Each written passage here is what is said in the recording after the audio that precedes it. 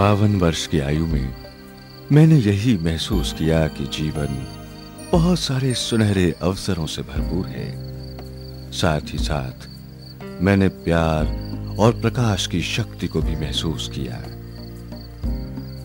थोड़े समय से मैं अनुभव कर रहा था कि मैं जिससे भी मिलता हूँ, वो कुछ ना कुछ खोज रहा है।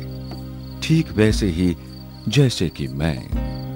कुछ विशेष शायद खुशी, संतोष, मन की शांति। दस मास पूर्व मेरी मुलाकात लंदन में एक महान आदरणीय योगी से हुई। तब से एक लंबी तलाश के पश्चात मेरा जीवन एक दरिया के समान धीरे धीरे विशाल सागर की ओर बहने लगा। इस मुलाकात के थोड़े समय बाद ही माउंट आबू राजस्थान से मुझे पीस ऑफ़ माइंड कॉन्फ्रेंस के लिए निमंत्रण मिला, जो कि प्रजापिता ब्रह्मा कुमारी ईश्वरी विश्वविद्यालय का अंतर्राष्ट्रीय मुख्यालय है। इसे प्यार से मधुबन भी कहा जाता है। भारत यात्रा की मेरी बरसों की इच्छा थी, और ये था मेरे लिए समय का बुलावा। उस महान योगी ने मुझे दो प्रश्नों पर गहराई से विचार करने को कहा था, मैं कौन? परमात्मा कौन? मेरे दिल की गहराई से बार बार यही आवाज़ आ रही थी कि इस यात्रा में मेरे प्रश्नों का समाधान अवश्य ही मिल जाएगा। खैर, हम सही सलामत ठीक समय पर आबू रोड पहुँच गए। आबू रोड अरावली पर्वतमाला की तलहटी में स्थित है। माउंट आबू समुद्र तल से 4000 फीट की ऊंचाई पर है। यहाँ पहुँचने के लिए हम एक घंटे तक संकरे और घुमावदार पहाड़ी विस्तार में पढ़ते रहे। हरे भरे मन भावन दृश्यों को देखते देखते अंततः ज्ञान सरोवर प्रांगण में पहुँच गए। इसका दूसरा नाम academy for a better world भी है। वहाँ पहुँचते ही वहाँ का वातावरण बाह्य जगत से बिल्कुल ही भिन्न महसूस हुआ, जैसे कि हम निर्वाण में प्रवेश कर गए हों। ऐसा महसूस हो रहा था कि मैं अपने वास्तविक घर में पहुँच गया हूँ। इस परिसर में चारों तरफ़ स्नेह और अपनत्व का आभास हो रहा था। जैसे एक परिवार, एक नए परिवार, एक वैश्विक परिवार का हिस्सा हूँ। सुव्यवस्था और स्वच्छता हर तरफ़ विद्यमान थी। सुंदर फूलों पेड़ पौधों और हरे भरे घास के मैदानों से हर कोना सजा हुआ था। अत्यंत गहरी शांति की महक चारों तरफ़ छाई हुई थी। एक ऐसा स्थान जहाँ शोर गुल का और किसी अप्रिय बात का नामो निशान न था। सहयोग, सद्भावना, सादगी, सहनशीलता, एकता और सम्मान के गुण सर्वत्र दिखाई दे रहे थे। वायुमंडल में चंपा और चमेली की महक से भीगी, खुशी और आनंद की तरंगे फैली हुई थी, जो अलौकिक आनंद की अनुभूति करा रही थी। इस विश्वविद्यालय द्वारा माउंट आबू में बनाया गया ज्ञान सरोवर दूसरा कॉम्प्लेक्स था। उन्नीस में पूर्ण किए गए इस कैंपस में 1500 मेहमानों को ठहराने की उत्तम व्यवस्था के साथ साथ 250 समर्पित राजयोगियों के रहने का संपूर्ण प्रबंध है।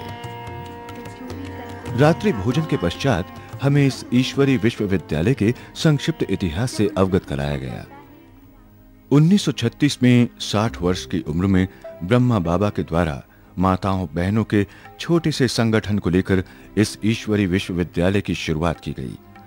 उस परम शक्ति द्वारा कई दिव्य साक्षात्कार कराए गए, जिन्हें परमात्मा, शिव, अल्लाह आदि कई नामों से जाना जाता है। उन्होंने स्वयं को गुरु नहीं, बल्कि परमात्मा का माध्यम माना। ब्रह्मा बाबा पहले एक सुप्रसिद्ध रईस और हीरो के भारतीय व्यापारी थे। इन्होंने माताओं और बहनों को संस्था के संचालन का संपूर्ण कार्यभार देकर उन्हें सम्मानित कर शक्तिशाली बनाया। इन्होंने तिरानवे वर्ष की आयु में अपने भौतिक शरीर को त्याग कर संपूर्णता को प्राप्त किया।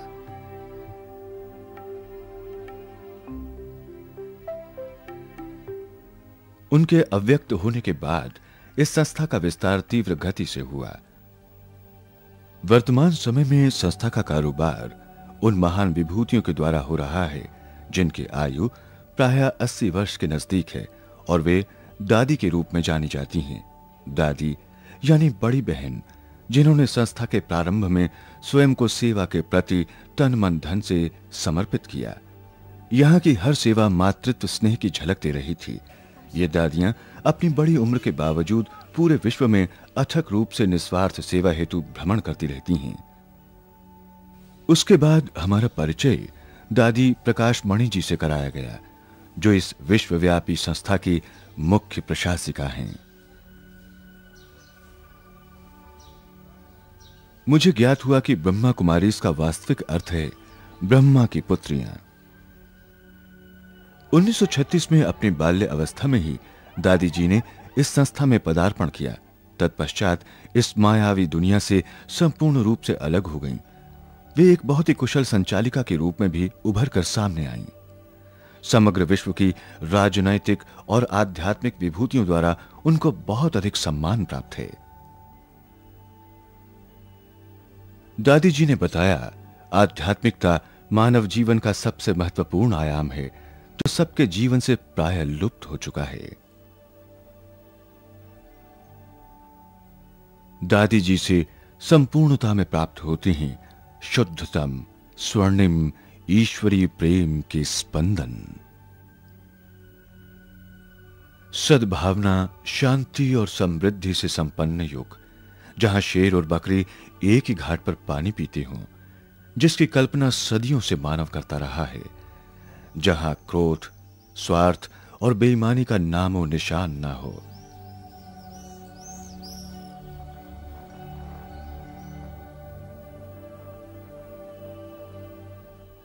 आध्यात्मिक सशक्तिकरण द्वारा ही मानवता का पुनरुत्थान संभव है।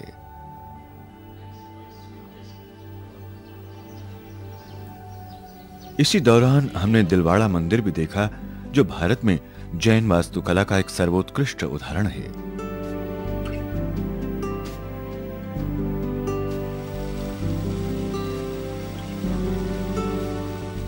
परिसर विहार के अंतर्गत ये देखकर मुझे बहुत आश्चर्य हुआ कि अत्यंत दुर्गम स्थान पर स्थित होते हुए भी यहाँ उच्च तकनीकी के साधन प्रचुर मात्रा में उपलब्ध हैं।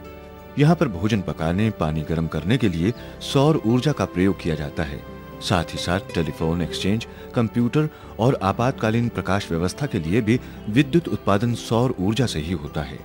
मैंने इस बात पर भी गौर किया कि यहाँ पर भोजन भी परमात्मा की याद में ही रहकर बनाया जाता है। जहाँ शुद्ध रूप से शाकाहारी भोजन की व्यवस्था है।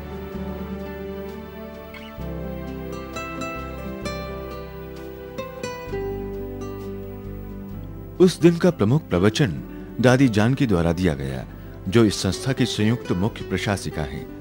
दादी जानकी जी लंदन में रहकर विदेश सेवाओं का संचालन करती हैं। दादी जी को एक कुशल वक्ता और मार्गदर्शक होने का वरदान प्राप्त है। अपने जीवन के प्रारंभिक दिनों से ही दूसरों के हित का ख्याल रखना दादी जी की विशेष धारणा रही है। एकाग्रचित स्थिति और संपूर्ण दृढ़ता, ये दोनों ही गुण इनके जीवन की विशेष शोभा हैं। इन दादियों की विनम्रता, निस्वार्थ प्यार निरअहकारिता विनोद वृत्ति और हृदय की विशालता से हर कोई प्रभावित होता है। उनका अपना कुछ ना होते हुए भी वो संसार को सब कुछ दे रही हैं। ये दादियाँ अपने कार्य चेहरे पर शिकन लाए बिना अथक रूप से करने के लिए विख्यात हैं। शायद ही ऐसा कोई प्रसंग होगा जब दादियों से भेंट के दौरान टोली अर्थात प्यार से निर्मित प्रसाद न प्राप्त हुआ हो। सिर्फ़ शरीर ही नहीं, मन एवं बुद्धि को भी रूहानी स्थिरता मिलती है। दृष्टि दो व्यक्तियों के बीच सरल वार्तालाप का माध्यम है, जिसके द्वारा दूसरी आत्मा के अंतर जगत को गहराई से देखा जा सकता है। हर एक रूहानी हस्ती में छुपी पवित्रता और प्रकाश की शक्ति और उसके सद्गुणों का दर्शन भी किया जा सकता है।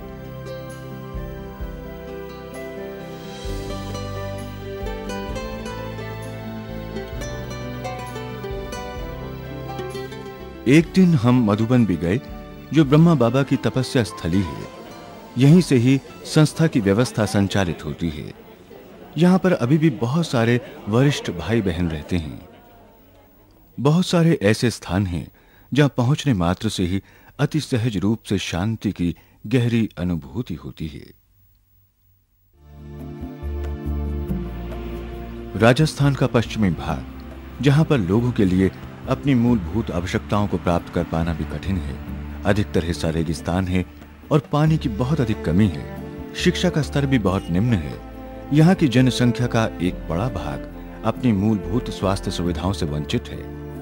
इसी आवश्यकता को ध्यान में रखते हुए, जे वाटुमल ग्लोबल हॉस्पिटल और रिसर्च सेंटर नामक भव्य अस्पताल की स्थापना 1990 में की गई। यहाँ उच्च स्तरीय सभी तरह की आधुनिक स्वास्थ्य सेवाएँ प्रदान की जाती हैं। इस क्षेत्र के एक लाख लोगों को इलाज का लाभ प्राप्त हुआ है जिनमें से चौवन हज़ार जनजातीय हैं।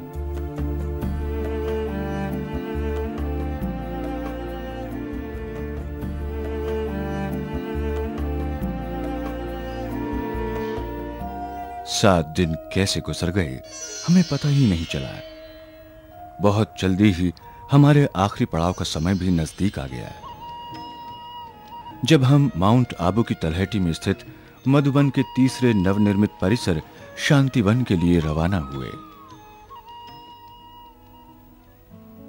इसका निर्माण कार्य उन्नीस में शुरू हुआ और मात्र दो वर्षों की अल्प अवधि में ही इसे पूरा कर लिया गया, जो भारत और विश्व के बहुत से स्थानों के लिए अविश्वसनीय सा लगने वाला कार्य है। इस परिसर के मुख्य आकर्षणों में से एक है अत्यंत विशाल डायमंड जुबली हॉल। जिसमें एक साथ बीस हज़ार लोगों के बैठने की व्यवस्था है। यहाँ पंद्रह हज़ार लोगों के ठहरने की व्यवस्था है। यहाँ पर विश्व का सबसे बड़ा सौर ऊर्जा से चलने वाला कुकर है, जो कि प्रतिदिन पैंतीस हज़ार से भी अधिक लोगों के लिए भोजन तैयार करने की क्षमता रखता है। अपने प्रवास के दौरान मैंने पाया कि यहाँ किसी भी तरह के शुल्क का कोई ज़िक्र नहीं है। वास्तव में विश्व में ब्रह्मा कुमारी के द्वारा किए गए किसी भी कार्यक्रम में कोई शुल्क नहीं लिया जाता है। ब्रह्मा कुमार भाई बहनों के स्वैच्छिक सहयोग के द्वारा ही इस संस्था का कार्य चलता है। ब्रह्मा कुमारी संस्था की मान्यताओं का सार जो मेरी समझ में आया, वो ये है कि जब हम बदलेंगे, तभी ये विश्व बदलेगा। वैश्विक जागृति को ऊँचा उठाते हुए ये लोग विश्व परिवर्तन के उद्देश्य को समर्पित हैं। उन सब का लक्ष्य शांति, पवित्रता और वसुधैव कुटुंबकम का है। एक ऐसी दुनिया की रचना करना जहाँ पर भय, चिंता, तनाव और उदासी का नाम और निशान ना हो। ये एक ऐसी मान्यता है जो हमें सभी धार्मिक सीमाओं से ऊपर ले जाती है। मधुबन मैं क्या सोचकर आया था? और मैं कौन से विचारों को अपने साथ लेकर जा रहा हूँ? मधुबन छोड़ने के बाद मैं इस उमंग, उत्साह और खुशी को अपने दैनिक जीवन में किस प्रकार जीवंत बनाए रख सकूँगा, मनी मन यही योजना बना रहा हूँ। इस राजयोग के अभ्यास द्वारा मैंने अपने इन शाश्वत प्रश्नों का हल पा लिया कि मैं कौन हूँ और परमात्मा कौन है। मुझे यह बोध हो गया कि मैं एक आत्मा हूँ, शरीर नहीं। मैं एक चैतन्य शक्ति हूँ और भगवान भी एक चैतन्य, परंतु परम शक्ति हैं। वे दिव्य ज्योति बिंदु स्वरूप हैं। उनका नाम परम पिता परमात्मा शिव है। इस आध्यात्मिक अध्ययन ने मेरे जीवन के अत्यंत ही नवीन पहलुओं के द्वार खोल दिए। सादगी से सुखी और संतोषपूर्ण जीवन जीने का परम ज्ञान भी मुझे प्राप्त हुआ। अब मुझे निरंतर वर्तमान में जीने का आश्चर्यजनक और सुंदर अनुभव हो रहा है। मैंने इस बात को गहराई से समझ लिया है कि ब्रह्मा कुमारी इसका यह उद्देश्य कितना गहरा और विराट अर्थ रखता है कि जब मैं बदलूँगा, तभी विश्व बदलेगा।